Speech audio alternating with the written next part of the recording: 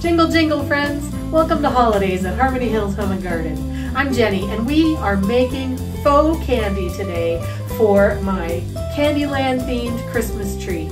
Come with me, and let's figure out how to make these faux treats for the Candyland theme.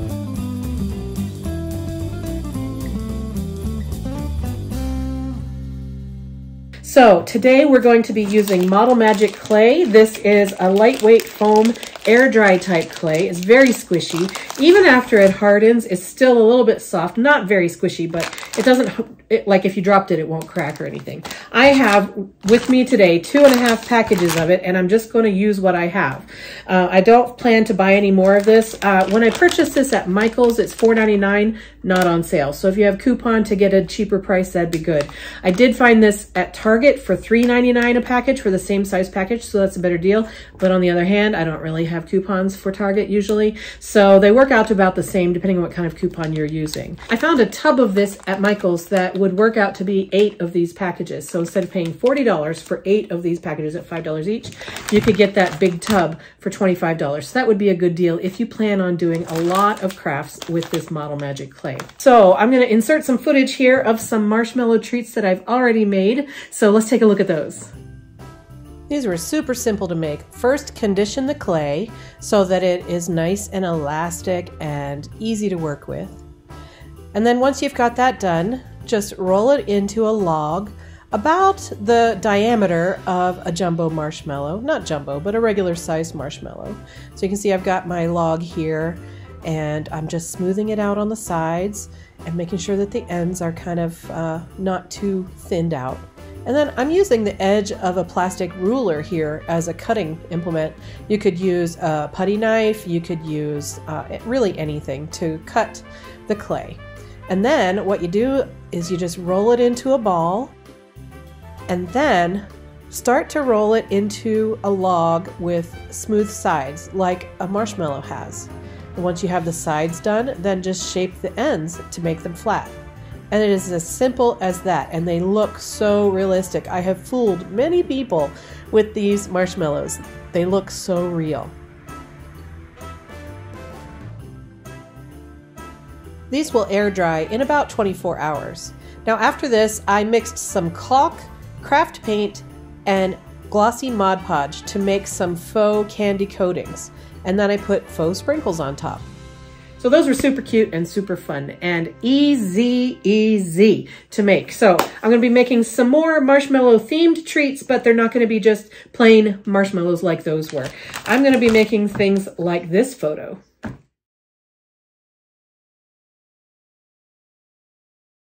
Don't those look cute? I thought we could make some of those too. So I'm going to start out by, actually, I'm just going to make some marshmallow twists. These were just little twists in different colors, so I'm going to see if I can get some of those going.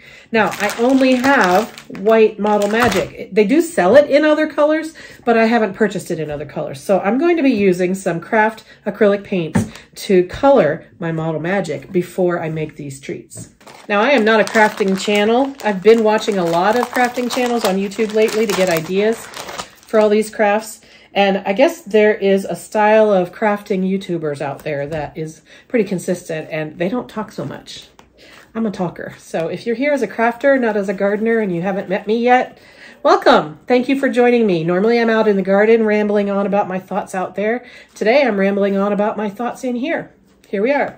Okay, so I'm going to see if I can come up with, um, let's see, I have yellow, blue, green, and pink that I'm going to be working with to try to color my Model Magic. Uh, so I want four balls of roughly the same size, and I actually have my kitchen scale in here. So I'm going to use my kitchen scale to make sure that I'm starting with balls of the same size. 50 grams, 59 grams. Let's take some, some of that off of there.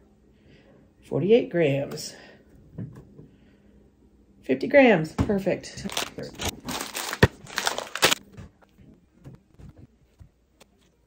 Okay, now I have four balls of 50 grams each, and I'm going to be working the color into that. I'm going to put the extras back in my plastic so that it doesn't dry out on me, but actually this doesn't air dry super, super, super quick, so I think I'll be fine working on these four. Now, when you work with this foam clay, you want to, what they call, condition it. As far as I can tell, that just means warming it up and moving it around and getting it stretchy. As you can see, when I took it out of the package, when you pull on it, it just breaks. But the more you work it, the more you squeeze it, knead it, roll it, play with it, um, it gets a little bit more elastic. And somebody I saw said that it has to do with the polymers that are in it to make it a little bit more, to activate the chemical compounds that are in it to make them more elastic or something. I don't know. I don't know the science behind it. I have two kids in my family who are chemical engineers. Maybe they know more about this type of clay than I do and could answer me. Beth, are you watching? Do you know anything about this foam clay and how kneading it does or doesn't affect the chemical bonds of the polymers in it? Let me know. Or if you're a viewer and you know, please put it in the comments down below. Anyway, so that's what I have learned from watching YouTube is that it gets stretchy by conditioning it and it has to do with the chemical compounds. Okay, so to put color in this, if you put too much liquid in here, it's going to affect the consistency of it. So I'm just going to try to have lightly colored clay balls here. I'm going to just put some pink in the middle. I really don't know how much to do compared to how much um, clay I have here. So I'm just going to start with what looks to me to be about a half a tablespoon. And, and I'm just going to fold that in here and knead it until it's incorporated in most of my um, clay turns pink. Now, I anticipate I'll be having uh, pink hands here in a minute, so I'll have to go wash my hands to get that color off. I'm just gonna see what I can do. You know what, I'm gonna take my ring off, that'd be smart. Okay.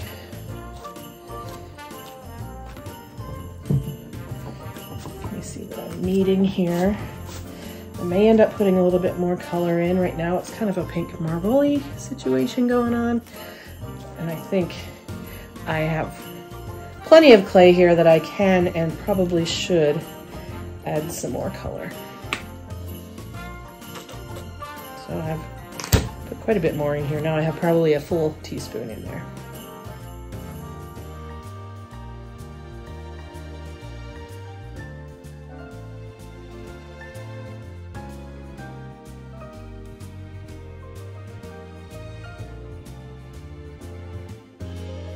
Coming right along. It is making my hands pink. I will have to go wash my hands, but small price to pay for having cute colored pink marshmallowy foam.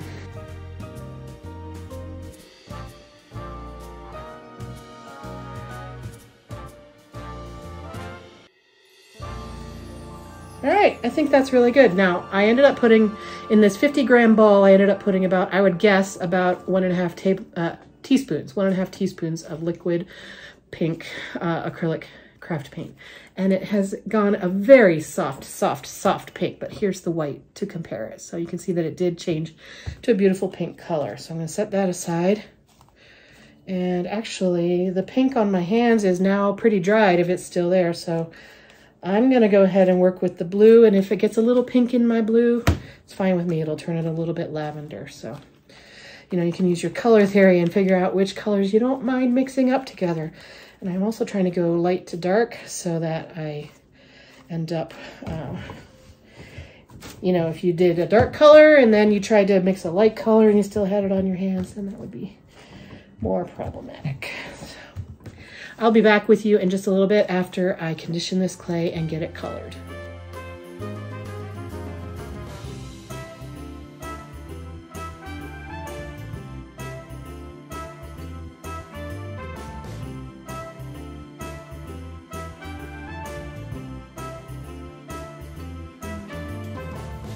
Right, so I've got my four colors mixed, and so here is my white.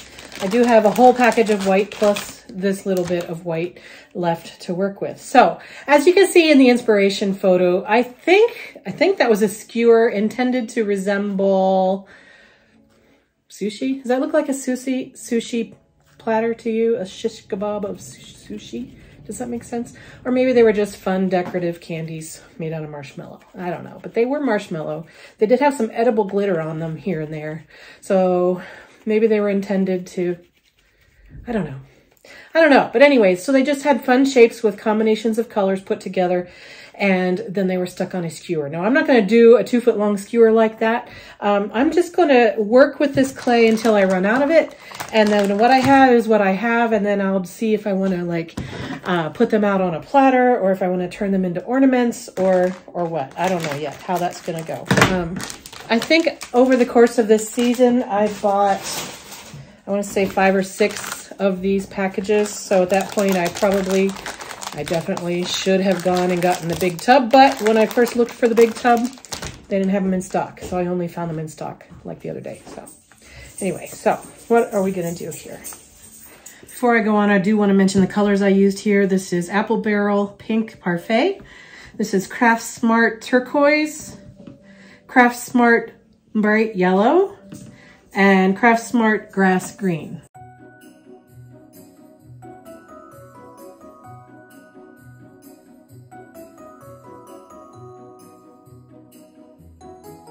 What I'm going for is a rope that is consistent circumference all the way down the length of it. And, you know, these are skills they taught us in elementary school and some of us probably kept those skills in place better than others, right?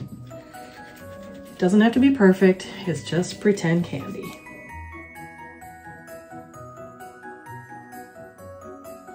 Like I have, oh, well, okay, so when you stick them together, they stick. So I guess that's what that's gonna be. And now we know. Don't stick them together until you're ready to.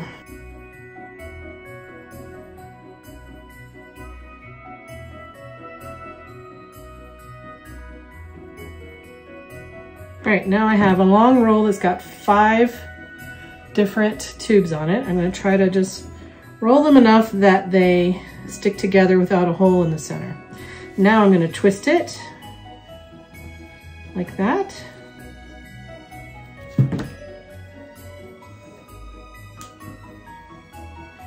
And if your twist wants to untwist, just press down the end onto your work surface. And that is the candy that I saw at the checkout counter. So I'm gonna just cut it up into pieces just like they were at the checkout counter. Keep them separated, otherwise they will stick to each other. All right, I think that's super cute. What do you guys think? Just a little marshmallow treat. So that's simple enough. I'm gonna set them on a roll of wax paper so that they can dry.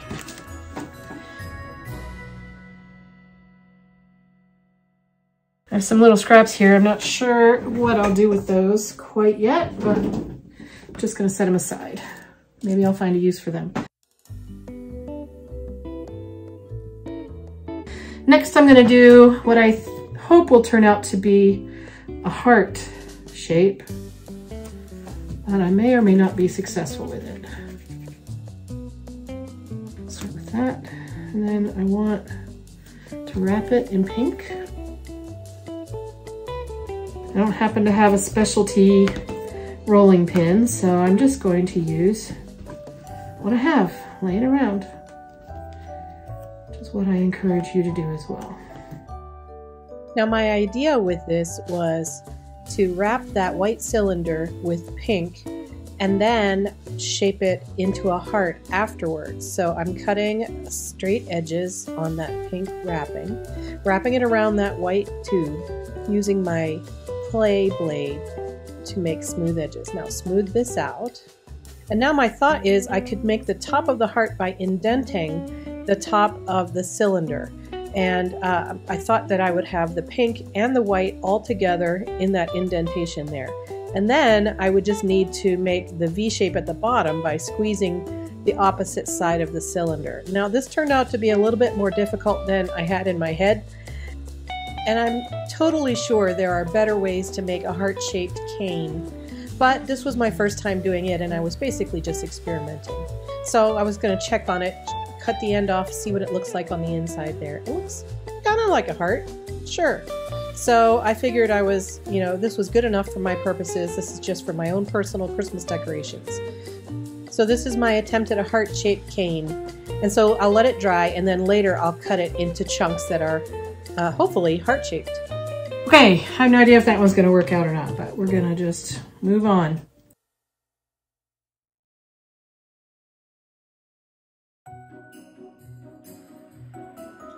Now this one is really just, I'm experimenting and playing around. I had the idea to maybe make some layers and then swirl them together. So I, I know there are better ways to do this. In fact, if I were to do it again, I'd do it differently. But I made some long skinny ropes and then I flattened them out. And um, so then I figured I would stack them up and um, this one got too thin, so I had to refigure it. So that worked out pretty well. Um, so I'm just stacking up these long, thin strips of different colors.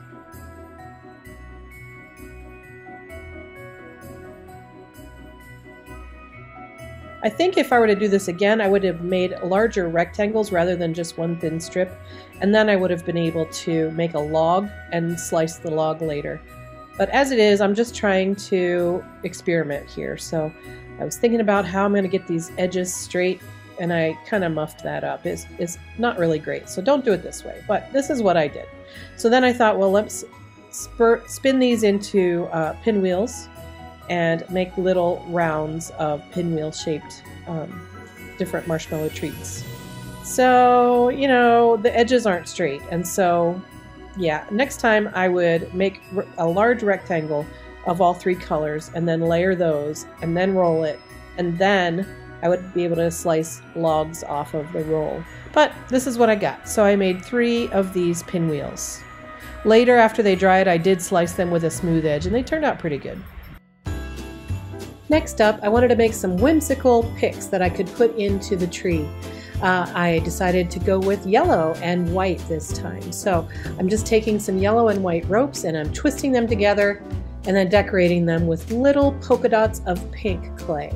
This is modeled after some whimsical pics that I saw online at various stores and in various YouTube videos. It's just really a, an amalgamation of a bunch of ideas that I saw all over the internet this season as I was researching how to make a Candyland theme for my Christmas. So this Model Magic clay is really, really easy to work with and they just stick together really well um, while they're wet. So I'm just making um, little polka dots of pink on the uh, intersection of the yellow and white ropes.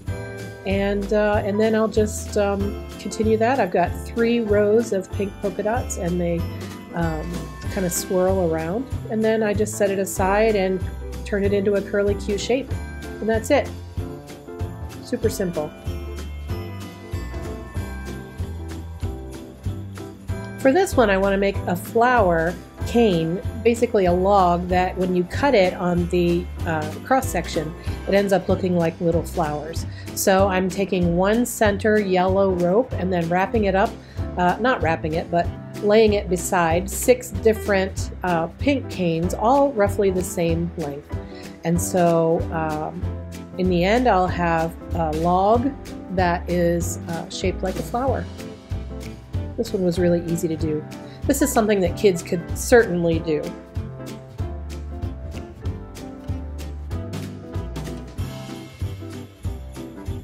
Super simple.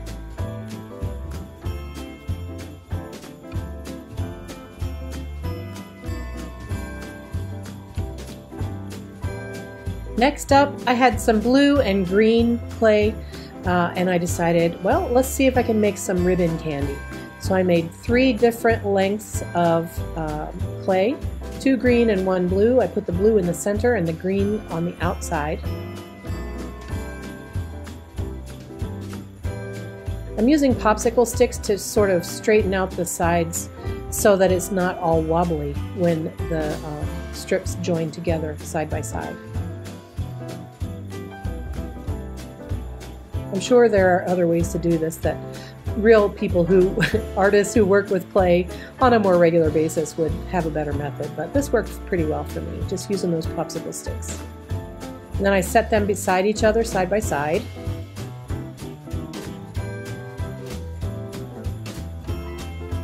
And then, you know, they stick together as soon as they touch, so that was easy. Nothing, Nothing special to adhere them together. Just trying to keep them all the same depth so that it's, you know, smooth and one piece. So green, blue, green. Evening off the sides here. All right, now I'm just going to simply pull this to stretch it. I could use a rolling pin to spread it out, but I find that um, this clay we responds really well to just stretching gently, especially if it's been well conditioned like this clay has been. And so now I'm just going to form some ribbon candy by folding it back and forth and back and forth in the accordion style, and then just trimming it off.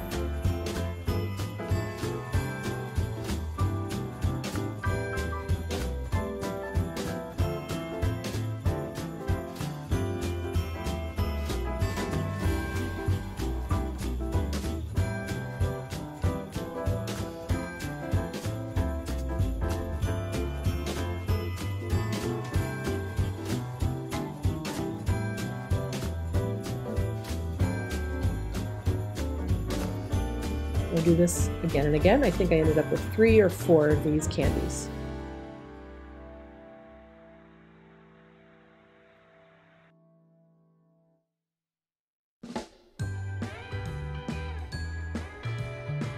Now at this point I had some leftover green and blue ropes and uh, so I wanted to, I don't know, play around with another shape. So I made some logs and then I, that one got too thin, so I just fixed that. Made two logs, a green one and a blue one, and then I just twisted them together side by side.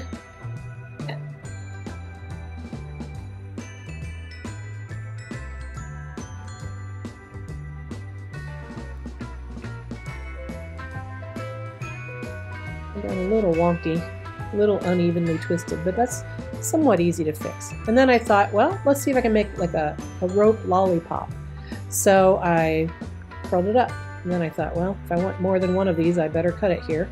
So I made one small one, and then I used the rest of the rope to make a second small one. So I don't know what these are intended to be used for in the future. I'm just kind of playing around with the clay at this point. So just playing with shapes and textures and colors and thinking of fanciful candy ideas.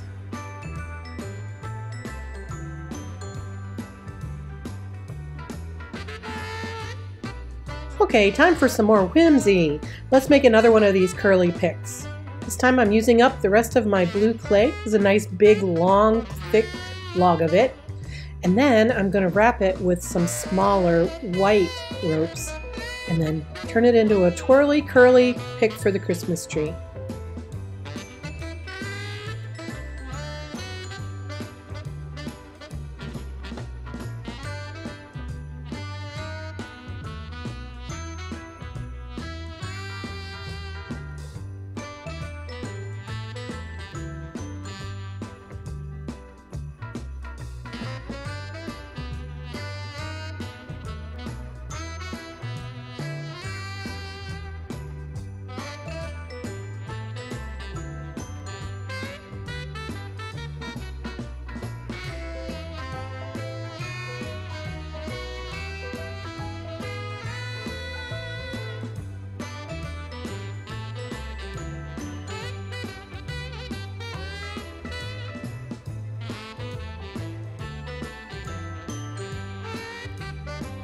This was really easy and it turned out super cute and it's something that definitely kids can do as well. Another fun kids craft.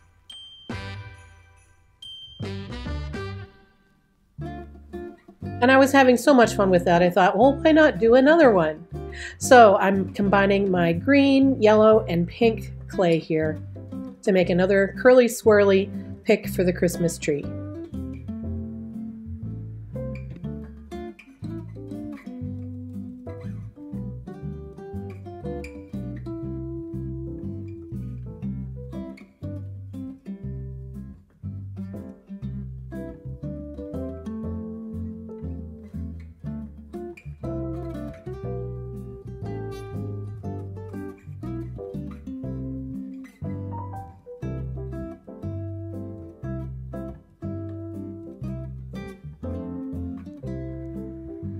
Now for this one I thought, why not make a little curly branch coming off of it? So I made another rope similar to the larger one, and then I uh, am planning to combine them together. Now I am going to have to glue these together so that they can last in the long term, but for now I'm just going to let them dry into this shape.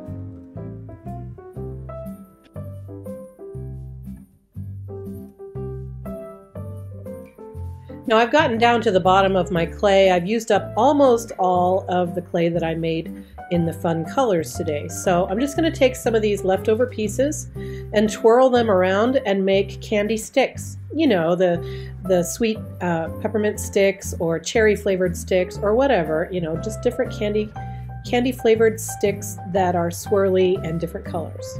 And it really doesn't matter uh, how perfect or not they are. This is really just leftover.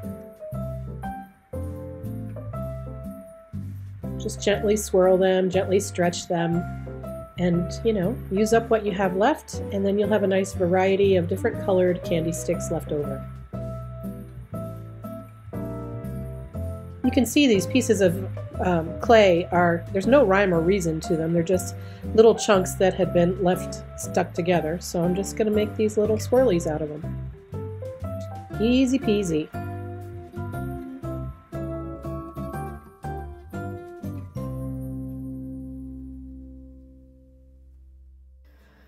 So here are my marshmallow treats that I've made. These are uh, an exact replica of ones that I saw at the checkout at Home Goods. So they're just intended to portray, you know, just marshmallows that have been twisted together and cut off into little marshmallow bites as a snack.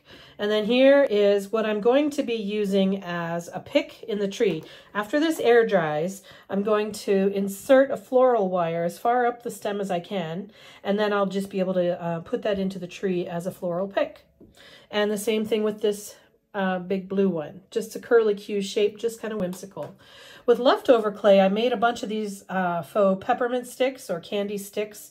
Um, you know, they're the kind that you buy at the five and dime in the old uh, gift shops and things. So I just used the leftover chunks of clay. This is intended to portray a roll up, but it kind of got out of whack because I didn't align the edges very well. So this one and this one is just using up leftover colors. I just made little lollipops. I'll stick a stick in there. Um, this, I'm hoping I'll be able to dry it, and then when it's dried, I'll be able to slice it, and it's a flower. So I'm hoping this is a cane that I can turn into flowers, and I'll slice them about a half inch thick and make little medallions of flowers. And likewise, I'm hoping that when I cut this one apart, into chunks, it'll look like a heart on the inside, but maybe it will, maybe it won't. I don't know. Here are some faux ribbon candies. And then this is the last one. I used up the rest of my dough on this. And again, this will be a floral pick. I'll put some floral wire up in the center of that. And uh, I may end up Mod Podging them so that they're a little bit shiny and putting some glitter on them. I may not. I probably will. I don't know. Depends on how I feel about glitter by the time these are dry. Okay, so let's assemble these candies into some sticks. So I uh, let them all dry for a few days and then I cut them up into smaller chunks. You can see how well the flowers worked and those pinwheels worked well too. So I was really pleased and even the hearts turned out okay. So now I'm just separating them out. I'm trying to figure out how many to put on each stick and what order to put them in and are they all going to be the same? I don't have enough to make them all the same. So I'm just spending a little bit of time here organizing them and getting them set out so that there are three treats per stick. Okay, now I'm taking a bamboo skewer. This is from the kitchen section of the dollar store. And I'm just pushing them on. Now, this dried clay, uh, it is still soft and it's really easy to stick these skewers onto there. Now this one, I pushed those two too far down the stick, so I'm going to pull those back up and then just put this uh, last twisty one on the end. And that is a completed candy. Now I don't need that long of a stick, so I'm just going to use some cutters to cut the stick a little bit shorter. Now I didn't, but you could definitely choose to use either white sticks in the first place or paint these sticks white after you're done. I just figured that's a step I don't need to take. This is just for me and I don't mind them being that natural color. So I just went ahead and I made the rest of the bamboo skewers in the same fashion And so I have three of each different variety.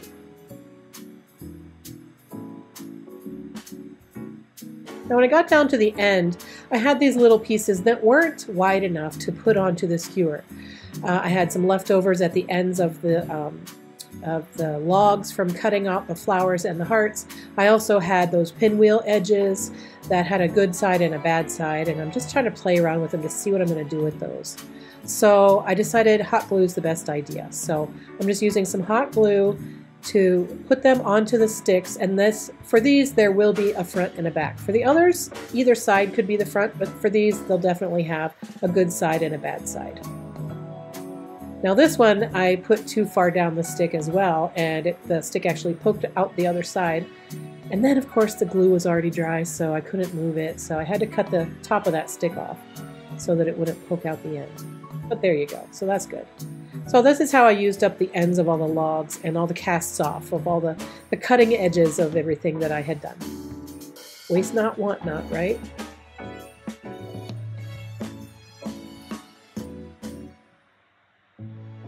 There you go. Those look really cute, I think.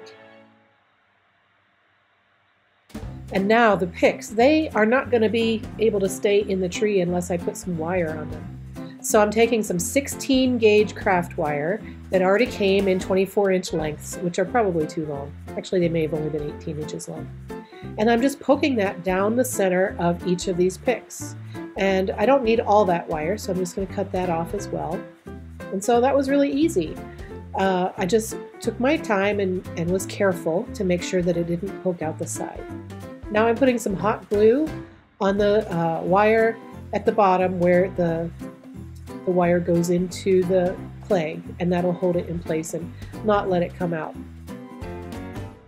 Now for this one with the twists in it, I did have a couple of gaps, so I just used some hot glue to close those up and nobody's any the wiser.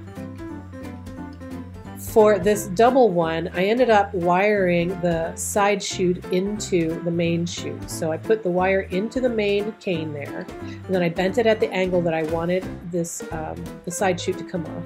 And then I wired the side chute onto there and fixed it up with hot glue to hold it firm. And that worked out really well. That's really sturdy. And then I just need a wire in the main body of that cane as well.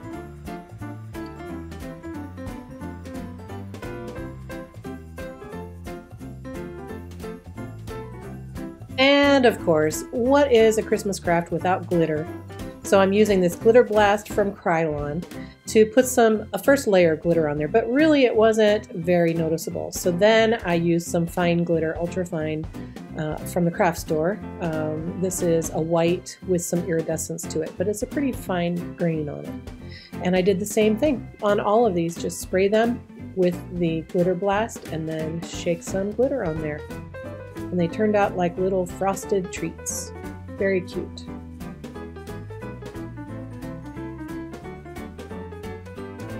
Again, you could paint the sticks if you care about that. You could also embellish them with bows or wrap them in cellophane or whatever you want, but I thought they were just perfect for putting onto the tree as is. I really like the way these came out. In fact, I might make a few more just because they're so adorable.